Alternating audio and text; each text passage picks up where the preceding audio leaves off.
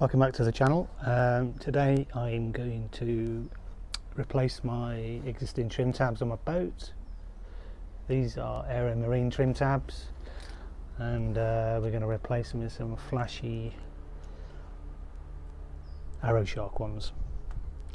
So I will remove those first and we'll offer the new ones up. Right, I've taken the old trim tabs off. Unfortunately, they were held on with six screw, self-tapping screws. Um, so what I've done is just blank those with stainless steel screws and a washer and then um, those two holes will be um, covered with the new trim tab. Not ideal really, but needs must. At a later date I might fill those and respray it so uh, we haven't got those stainless steel um, screws there. So um, I'll just pop the camera down, we'll drill some holes and uh, we'll attach those on. So there we go, there's the holes drilled. Just pull that back. Don't worry about those two, those will be covered by the trim tabs and those are held on with uh, two 4mm stainless bolts so let's see what they look like. There we go, there's one on. Just do the same on the other side. My only problem is the bolts they've supplied because I've, my transom's quite um, quite thick. If you can see there, that one probably won't focus. That one there is fine, but that one there, I'm going to have to get myself a longer bolt.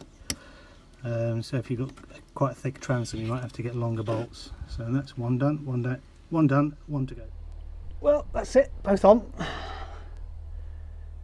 Just got to adjust them, obviously.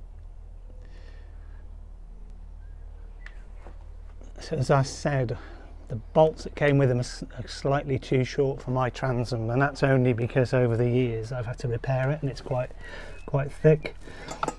So those down there on this side are just just slightly too short. I think they're a 15 mil bolt. So it's an M4 by 15. So I'm probably going to have to change them for a, a, a 20 mil bolt. Um, so let's just have a look. Let's put the put the top back on.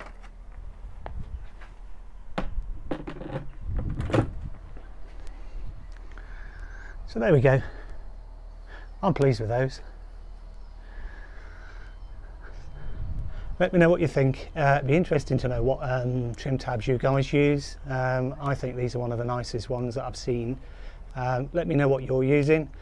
Uh, be interesting to find out. Um, hope you enjoyed the video. Give me a thumbs up. Press that subscribe button. And um, see you guys in the next one.